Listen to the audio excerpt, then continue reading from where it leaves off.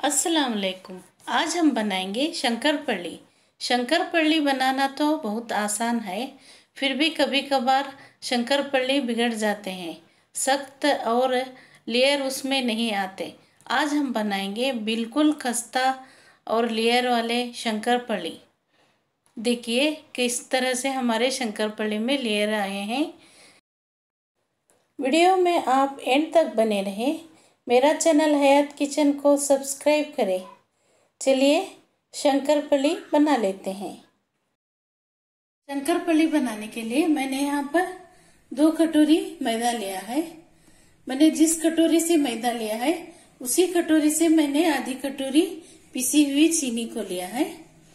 उसी कटोरी से आधी कटोरी मैंने यहाँ पर घी लिया है, आधी कटोरी पानी लिया है। पानी हमें जितना चाहिए उतना ही इस्तेमाल करेंगे। मैदे को हम एक बोल में डालेंगे।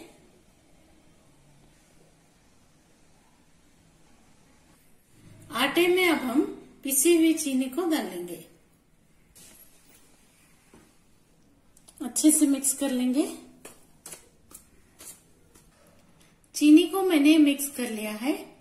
आटे में डालेंगे एक चिटकी नमक।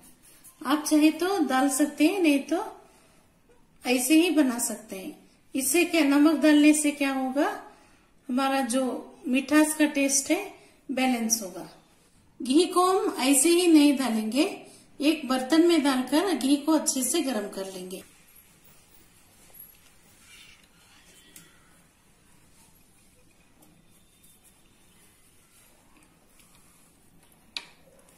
घी को हमने गरम कर लिया है। ये थोड़ा बहुत ज़्यादा गरम हो गया है। थोड़ा इसका हीट को कम होने देंगे और उसके बाद आटे में मिला लेंगे। घी को अब हम आटे में मिला लेंगे। आटे में हम घी को अच्छे से मिला लेंगे चम्मच की मदद से, क्योंकि हमारा घी जो गर्म है, इससे हाथ हमारा जल सकता है, इसलिए आप लोग चम्मच से आटे को मिला लें। घी को मैंने आटे में अच्छे से मिला लिया है। देखिए। अब इसमें पानी डालकर थोड़ा थोड़ा पानी डालकर अच्छा टाइट डो बना लेंगे। मैंने पानी को यहाँ पर हल्का गुनगुना कर लिया है। पानी थोड़ा थोड़ा डालकर आटे को गूंद लेंगे।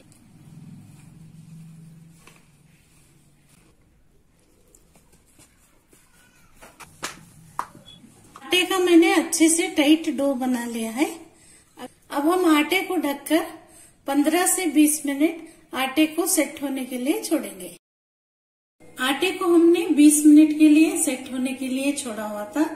ढककर इस तरह से हमारा आटा थोड़ा सॉफ्ट सॉफ्ट हुआ है। अब इसे हम कटिंग बोर्ड पर डालेंगे। आटे को हम अच्छे से बेलन से पीट लेंगे। आटे को हम बेलन से दो तीन मिनट तक पीट कर अच्छे से सॉफ्ट बना लेंगे। इस तरह से पलट पलट कर पीट लेंगे। आटे को मैंने अच्छे से ठोक पीट कर लिया है। अब इसके हम दो हिस्से कर लेंगे।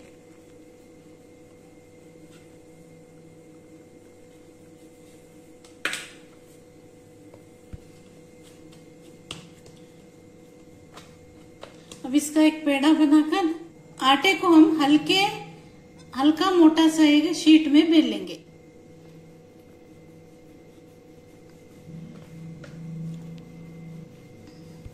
किनारे फटे तो कोई बात नहीं है। हमें इसे स्क्वायर या डायमंड शेप में काट लेना है। मैंने यहाँ पर शंकरपली के शीट को बेल लिया है। अब इसे हम स्क्वायर में काट लेंगे। आप चाहे तो इसे डायमंड शेप में भी काट सकते हैं।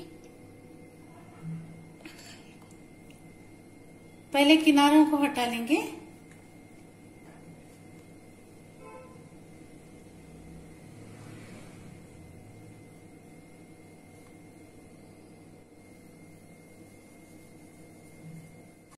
मैंने शंकर पले को इस तरह से छोटे छोटे पीसेस में काट लिया है। इसे अब हम डीप फ्राई करेंगे। शंकर पले फ्राई करने के लिए मैंने यहाँ पर कुकिंग ऑयल को एक कढ़ाई में गर्म होने के लिए रखा हुआ था।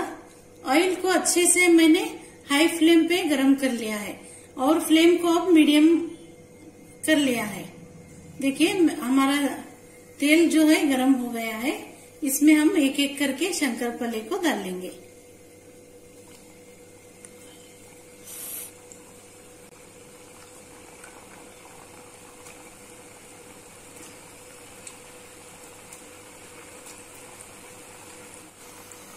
एकदम से इनको हिलाएँगे नहीं, थोड़ा हल्का सा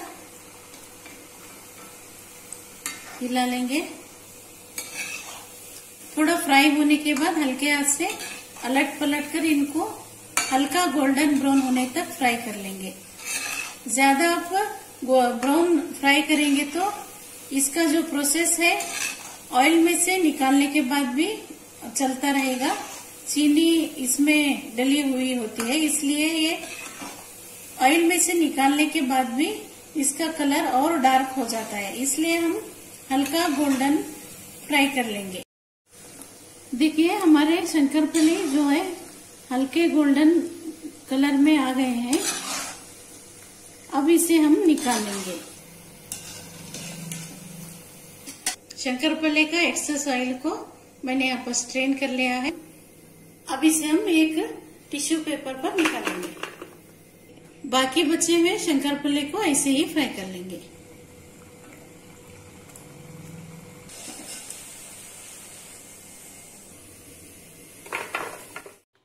देखिए, हमने शंकरपल्ली को बना लिया है। बिल्कुल खस्ता लेयर्ड शंकरपल्ली हमारे बनकर तैयार हैं। गरम रहते हुए शंकरपल्ली सॉफ्ट रहते हैं। जैसे जैसे ठंडे होते जाएँगे बिल्कुल खस्ता बन, बनेंगे। शंकरपल्ली को आप 15 से 20 दिन तक एयरटाइट डिब्बे में स्टोर करके रख सकते हैं। वीडियो पसंद आई तो वीडियो को लाइक करें, ज़्यादा से ज़्यादा शेयर करें, चैनल को सब्सक्राइब करना ना भूलें। हम फिर मिलेंगे फिर एक नई रेसिपी में, तब तक के लिए